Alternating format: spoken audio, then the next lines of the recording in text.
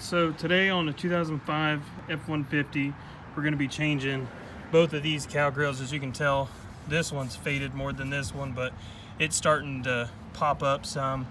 And as you can see right there, those clips are coming out. And you can try to put it back in and it just does the same thing. So we're gonna change both of these. So what you do on this first is you have to take off the windshield wipers. So there's a little pin on this side of the windshield wiper. You just push that up and they pop right off. They're very easy and I'll get a little closer so you can see exactly what I'm talking about. That pin right there, all it does is you take your finger and slide it up and that just loosens that so it's able to get off of that lip lip right there so once those are off it's pretty easy we'll pop the hood and take it take the rest of this off. All right so on each side of these there is this pin right this push pin right here. And you have to pop this off to loose to get these taken off. So what we're gonna do is I have this snap-on trim tool and this is going to pop these off. It sits in right in here but I've actually I've got a rag so that way I don't scratch my truck all up. So got that pinned down to where it's going to pry against the truck and just and that pops right out. So once you get them popped off you got that corner done. Um, but you've got to pop off this weather stripping that's right here and it just pops right off. And you got to just work it out of its groove and it comes off comes off in one piece as you can see it right there all right so once you got that weather stripping off that's right there these just kind of pop out all you do is kind of push and wiggle these until they pop out of these grooves that are down in here. There's one right there, there's another one here, and then there's some on the back side of this.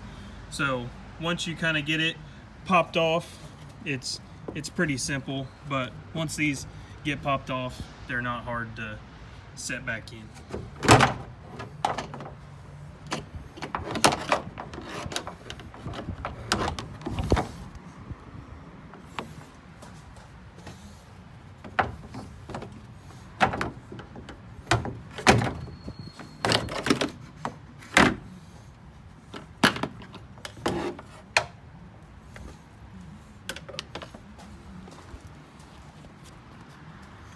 So one thing I didn't say before, you have to take the driver's side cowl off before you can get the passenger side off because there is a bolt right there that comes off with this. But before you get to pulling too hard, you have to watch and where your windshield washer fluid comes into right here, you have to pull it off.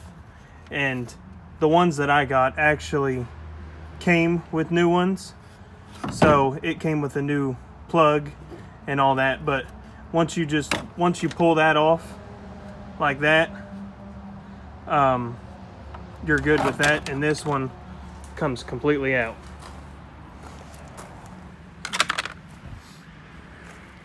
So we've gotten this side off. Now we've got to get now we've got to take that bolt out up there and then that other side will come out just as easy so there's that bolt that I was talking about. So on mine, it is a seven millimeter. So it's not very tight. Just pop that off.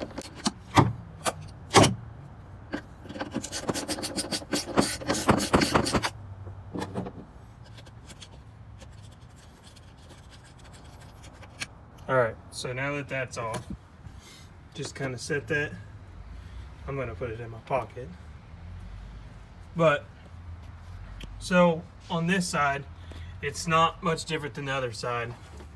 You just kind of push these little tabs, some of these push in. So before you take this off completely, make sure you come down here to your washer fluid line and pop it off. One way to make these easier is kind of twist this back and forth this top part to kind of break the seal initially off of here. So that way it's a little easier to pull off. So once you twist that off, it should be pretty easy to take off. So once you break that, you can see it's kind of barbed, so it pulls off. And the one that comes with it should come with a new um, tube to hook back into here. All right, so now that I kind of have it off the truck, you'll be able to see a little bit better of what I was talking about. So these clips right here, they are in a hook shape. I can turn it to the side so you can see. So you see how those, they kind of hook in. This is towards the windshield. So this, you have to kind of push it down and hook it into the clasp that's back there. And then these front ones, all they, they just set into place so you can just push them back and pop them out. But these ones are kind of the harder ones to actually work out of the groove. But once you get those worked out, you've got everything and it should come right out. So now we're gonna start setting this new one in. I kind of have it, I just have it set in to where it's supposed to kind of set into the grooves. Um, so we'll start setting it in completely. So what you wanna do is pick the front end of this up and kind of set it into the grooves. And then you should hear some snaps when it starts to set in completely. And just kind of go down the line, make sure these back ones are set in, and then snap these front ones in.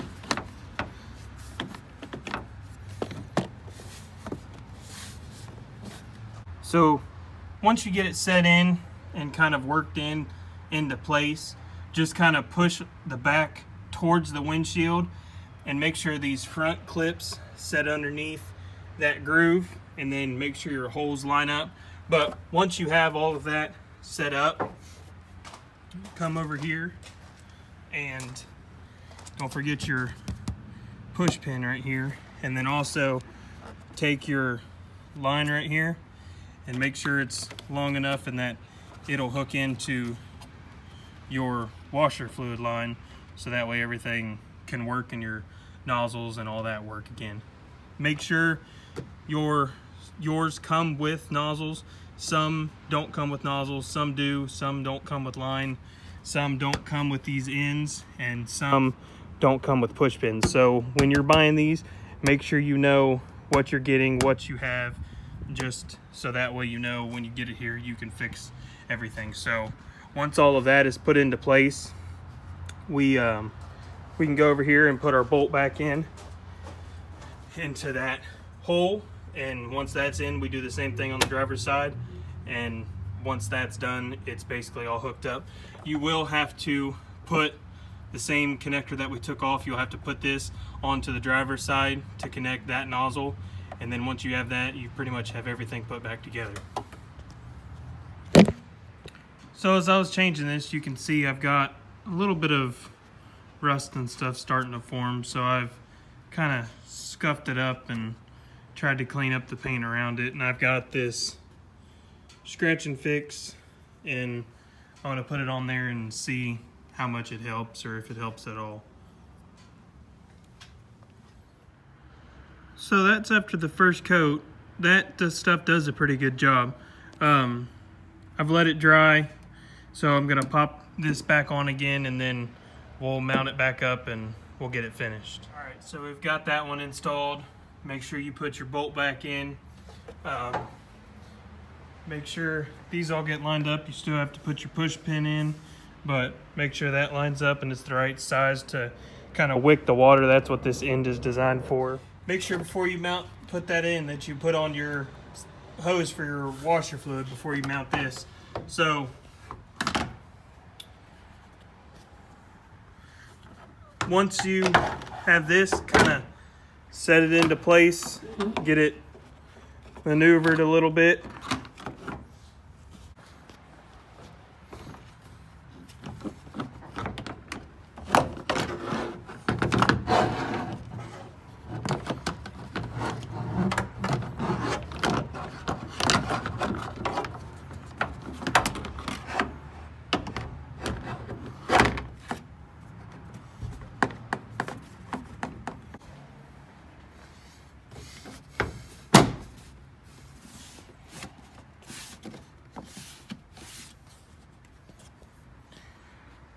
So once you get that one set in, kind of pushed into place and popped in, you'll just hear a couple pops. And make sure that in the center up here that you that this one is over this one. There's a couple clips in here that this sets into. And on this side make sure on those you push those in and put it in underneath the lip that's here. So got everything hooked up got to put in the push pins and that's about it. It's it's really simple. Make sure over here it lines up. It does. It's really simple. It's not that hard. Only thing you really need is a seven millimeter socket and uh, all you got to do is pop that on make sure it's secure make sure that one over there is secure. Put on both of your windshield wipers put in those push pins. All you do is stick it in the hole right here and push it down and it sets right in and it'll just kind of seat this corner for you. So once you have all that done you're done. Don't forget your weather stripping guys. I forgot to tell you that. Make sure your wiper fluid works and there's no leakage or anything like that out of those. And once you're once you got that done, you replace them and you've got a better looking truck for it. This is a cowl replacement on a 2005 Ford F-150. All right, so let's make sure our windshield wipers are working and that the washer fluid comes out evenly. It's gonna take a second. Yep, both are working. That's how you replace the cowl. Don't forget, make sure your windshield wipers are on the same side that you took them off of. The weather stripping that we took off, make sure you put it back on and put them push pins back in. And it's not, not that hard. It probably took me 20 minutes with making this video. So it's not too bad. You just need a seven millimeter socket and uh, a little bit of time. Other than that, just be careful when you take your tubes off. Make sure those aren't dry rotted. Um, watch those plastic clips. They could be brittle. And other than that, it's pretty easy to pop off. Thanks.